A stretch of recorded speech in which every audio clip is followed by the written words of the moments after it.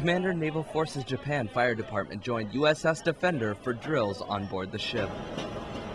Flying Squad is the cream of the crop firefighting guys on board USS Defender. Our teamwork is always immaculate, and our casualty control procedures, we all know the steps, we all know what needs to happen. But to prepare for this drill, the crew members pretended to have a problem that required them to call the CNFJ Fire Department. In the event the fire gets out of control, we're able to come in and uh, take over operations from the ship forces. Left with not enough water, the crew must learn their role in solving the problem. We'll combat the casualty as best as possible. Once we've done that, we'll stand by and wait for the fire department to show up. Seaman Andrew Frisbee, Fleet Activities Sasebo, Japan.